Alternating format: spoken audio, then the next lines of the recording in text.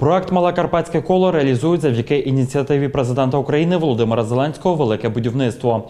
Він включає автомобільні дороги державного та місцевого значення протяжністю понад 218 кілометрів. Про це розповів перший заступник голови Закарпатської ОДА Мирослав Білецький. Загальна вартість ремонтних робіт в межах проекту складає майже 4 мільярди гривень. Для ремонту доріг державного значення із держбюджету виділили понад мільярд гривень.